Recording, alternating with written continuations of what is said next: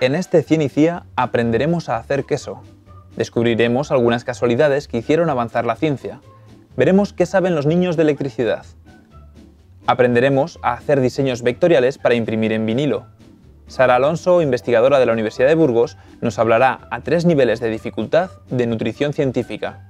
En el concurso de 100.000 ICIA, hoy comienza la segunda fase de clasificados con el enfrentamiento entre el Instituto Pía de la Plata, de Guijuelo, Salamanca, y el Instituto Álvaro Yáñez, de Benvibre, León.